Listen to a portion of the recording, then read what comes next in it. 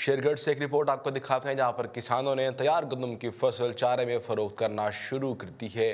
क्यों ये ऐसे कर रहे हैं, जानेंगे हम मलिक गुलाम अब्बास की रिपोर्ट में। ये रिपोर्ट देखते हैं। आटे की कीमत में मुसलसल इजाफे और कई सालों से जारी बहरान के बावजूद हुकूमत की जानब से गंदम के काश्तकारों को मुसलसल नजरअंदाज किए जाने पर किसानों ने गंदम तैयार करने की बजाय यह फ़सल जानवरों के चारे के लिए इस्तेमाल करना शुरू कर दी है। पंजाब के बाकी कई इलाकों की तरह शेरगढ़ में भी किसानों ने कई कई एकड़ गंदम तैयार होने से पहले ही कौड़ियों के भाव में फरोख करना शुरू कर दी है, जिससे रमासाल हुकूमत की जानब से गंदम स्टॉक करने का तय करदा हदफ बिल्कुल पूरा होता दिखाई नहीं देता।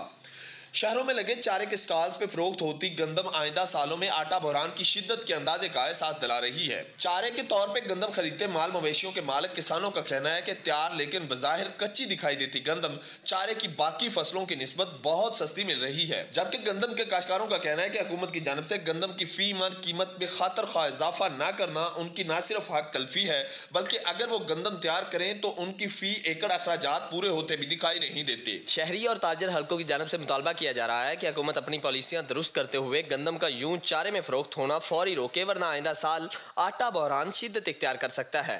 कैमरामैन सुहेल मुगल के साथ मलिक गुलाम अब्बास, दिन न्यूज़, शेरगढ़। रिपोर्ट आप देख रहे थे शेरगढ़ से। एक रिपोर्ट